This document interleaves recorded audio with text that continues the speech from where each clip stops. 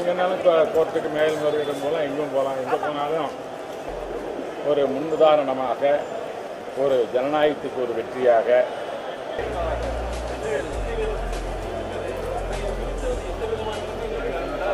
இல்லை தனுஷ் அவர்கள் வட சென்னை என்ற படத்தை எடுத்திருக்கிறார். அந்த படம் இப்போது ஓடிக்கொண்டிருக்கிறது. அந்த படத்திற்கும் அந்த படத்தின் மீது சர்ச்சைகளும் இருக்கின்றன. அதில் சில கருத்துக்கு ஓகாத என்று சில கருத்துக்களும் சொல்கிறார்கள். ஆனால் பட தயாரிப்பாளர் அதனுடைய டைரக்டர் அவர்கள் அந்த காட்சிகளை நீக்குவதாக சொல்லியிருக்கிறார். ஆகவே இது போன்ற முரண்பட்ட காட்சிகள் இருப்பது வடசென்னையிலே நடந்து கொண்டிருக்கிறது. ஆகவே ஜெயக்குமாரை பொறுத்தவர் நல்லவர் நேர்மையானவர். அவர் மீது எந்த கலங்கமும் இல்லை என்று தான் சொல்ல முடியும். தகுதி நீக்கம் செய்யப்பட்ட அந்த பதினெட்டு பேரில் யாராவது மீண்டும் அதிமுக சேர்வதற்காக ஏதாவது முயற்சி மேற்கொண்டிருக்காங்க தெரியாது. வாய்ப்புன்றது என்ன முடிஞ்சு போ- அதாவது இன்னொன்றுங்க ஒன்று சொல்கிறேன் நீங்கள் தான் உள்ளே வந்தால் உடனே எம்எல்ஏ அவங்களை ஆக்கி விட முடியுமான்னு நீங்கள் எதிர்பார்க்குறீங்க. சபாநாயகர் ஒரு முறை தீர்ப்பேடு எடுத்த பிறகு அதை மீண்டும் பரிசீலனைகள் அவருக்கும் அதிகாரம் கிடையாது. செய்யவும் முடியாது. அது செய்ய வேண்டிய காலகட்டம் முடிந்து விட்டது. உச்சநீதிமன்றம் உயர்நீதிமன்றத்திலே தீர்ப்பு அளித்த பிறகு இந்த வழக்கு உச்சநீதிக்கும் சென்று அங்கும் மீண்டும் மூன்றாவது நீதிபதிக்கு அவர் பரிசீலனை செய்யலாம் என்ற உத்தரவு தந்த பிறகு அவர் எடுத்த முடிவு சரி என்று சொன்ன பிறகு தான் எடுத்த முடிவை எந்த சபாநாயகம் பின்வாங்க முடியாது என்பது என்னுடைய கருத்து. அப்படி செய்தால் அதற்கு கலங்கம் ஏற்படும் ஏற்படும். அப்படி சபாநாயகரும் செய்ய மாட்டார்கள். ஆகவே எடுத்த முடிவு சரியான முடிவு தான் அந்த முடிவுப்படி இந்த பதினெட்டு பேருக்கும் சட்டமன்ற உரிமை செயல்பட முடியாது. ஆகவே வந்து சேர்ந்தா எம்எல்ஏ பதவி கிடைச்சிடும் இந்த அந்த கேள்வி அதான் நீங்கள் கேட்குற கேள்வி தேவையில்லாத கேள்வி. இது நீங்கள் நினைக்கிறீங்கன்னா பதினெட்டு பேர் வந்தால் திரும்ப எம்எல்ஏ பதவி இருக்குமா? அந்த அந்த கேள்வியில் தான் நீங்கள் அந்த அணுகுமுறையை கேட்கிறீர்கள். இல்லை சொல்கிறேன் ஆக்சுவலி நீங்கள் சொல்கிற கேள்வி எது கேட்குறீங்கன்னா பதினெட்டு பேர் உள்ள வந்தால் திரும்பி எம்எல்ஏக்களை வந்துடுவாங்களா என்ற அந்த ஒரு யூகத்தின் அடிப்படையில் கேட்பேன் என்னை எனக்கு தெரிந்த வரையில். நான் ஒன்றும் ஒரு வக்கீல் கிடையாது நான்.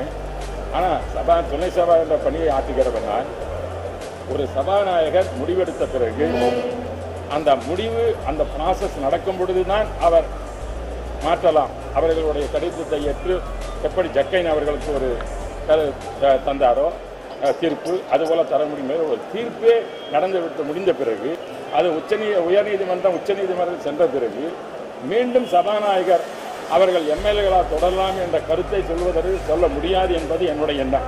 அப்படி இருக்கும்பொழுது பதினெட்டு பேருக்கு எம்எல்ஏ பதவி கிடைக்குமா வருவாங்கிற கேள்வி எதாவது என்பது எனக்கு தெரிந்த இதை சொல்லுங்க நான் இன்னும் அரசியல் அரசியல் ஒரு பக்கம் இருந்தாலும் சட்ட நிபுணர் அல்ல.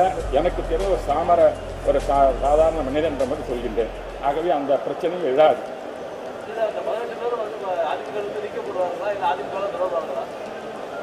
இது வந்து கட்சி இல்லை, அதே மாதிரி தான் சொல்லணும். கட்சி தலைமை தான் அது முடிவெடுக்குமே தவிர நான் வந்து கழக கொள்கை பெரும் செயலாளர் வழிய நான் அந்த முடிவெடுக்கும் அந்த இடத்திலே நான் இல்லை.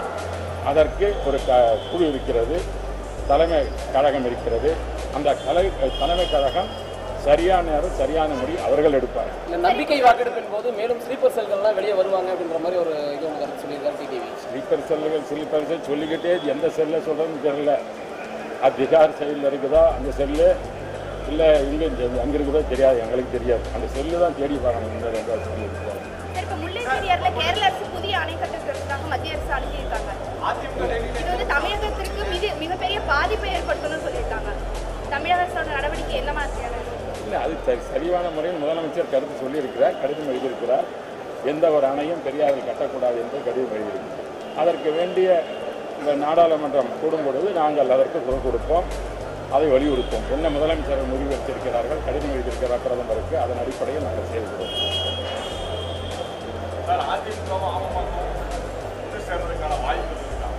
ஏங்க அனைத்து இந்திய அண்ணா ஒரே கட்சி.